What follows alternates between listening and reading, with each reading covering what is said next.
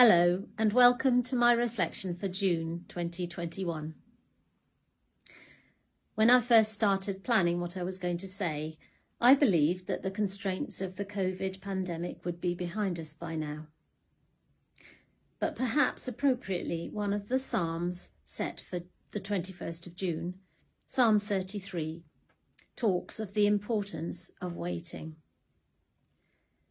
So I'm going to read the psalm in full it's very beautiful. And then reflect on the nature of waiting in a Christian context.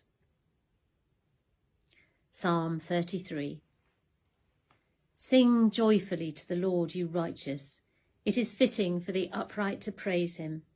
Praise the Lord with the harp. Make music to him on the ten-stringed lyre. Sing to him a new song. Play skilfully and shout for joy. For the word of the Lord is right and true. He is faithful in all he does.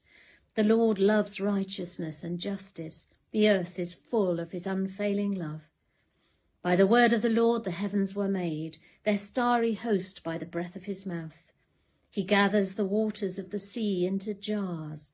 He puts the deep into storehouses. Let all the earth fear the Lord. Let all the people of the world revere him. For he spoke, and it came to be. He commanded, and it stood firm. The Lord foils the plans of the nations.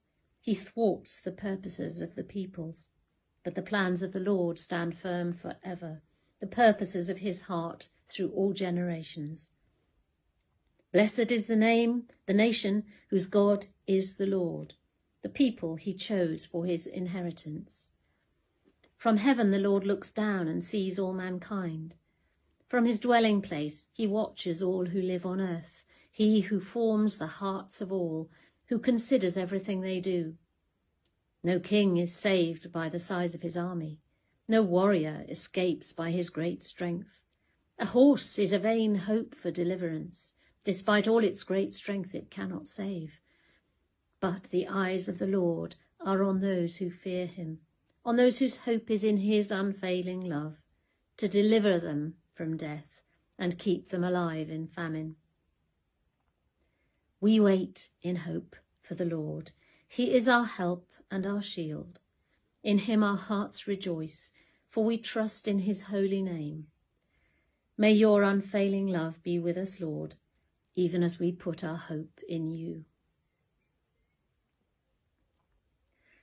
We may well be feeling at this moment that the Lord has foiled the plans of the nations and has thwarted the purposes of the peoples. But the psalmist doesn't question or complain about God's unfathomable purposes, nor his all-powerfulness.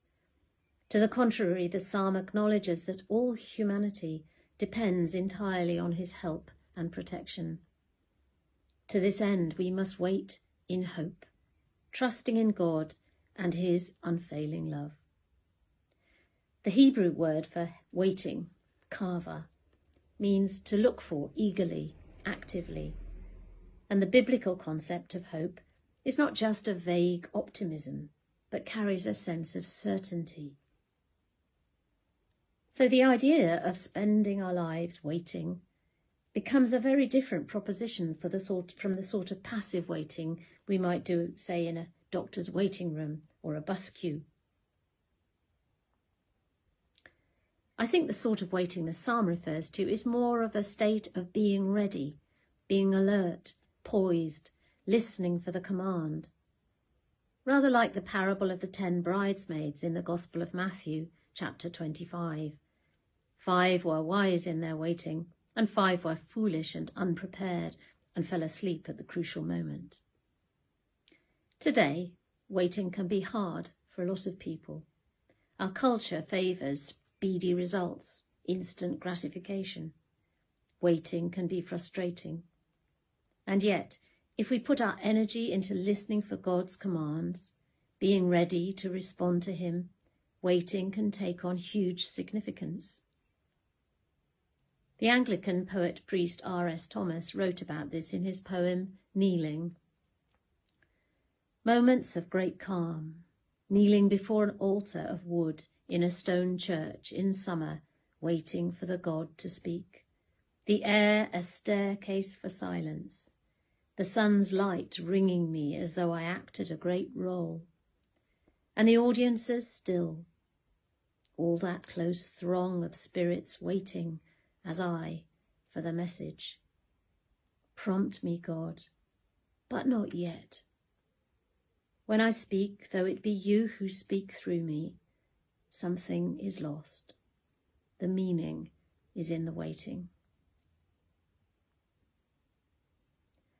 Active waiting becomes then a state of being rather than doing, of anticipating the future yet embracing the present. Its value transforms the moment, enables us to be still, to feel nurtured, to be present in God's presence.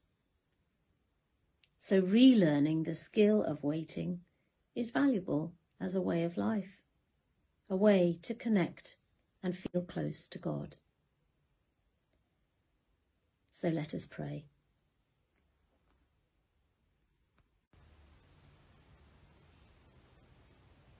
Lord, it can be hard for us to wait.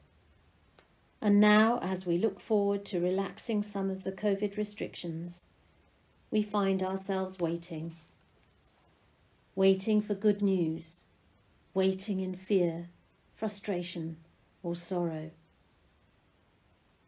Please help us to use this waiting time to be present to you, to be alert for your voice speaking to us, calming us, encouraging us.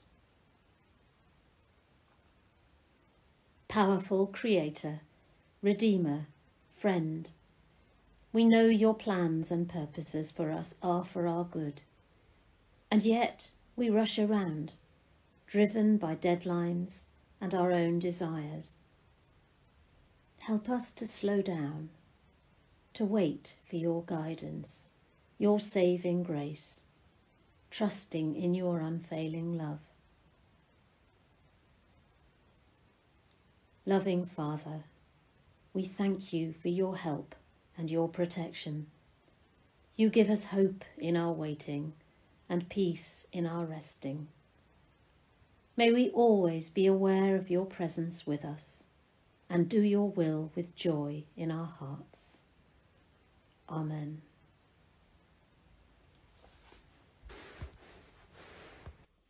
And we say the Lord's Prayer together. Our Father, who art in heaven, hallowed be thy name. Thy kingdom come, thy will be done on earth as it is in heaven. Give us this day our daily bread, and forgive us our trespasses, as we forgive those who trespass against us. And lead us not into temptation, but deliver us from evil. For thine is the kingdom, the power, and the glory, for ever and ever. Amen. And I'd like to finish with a blessing written by the poet John O'Donohue.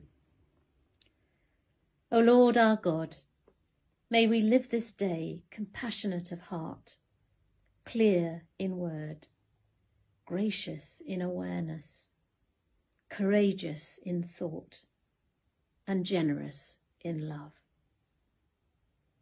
And may the blessing of God Almighty, the Father, the Son, and the Holy Spirit rest on us today and always. Amen.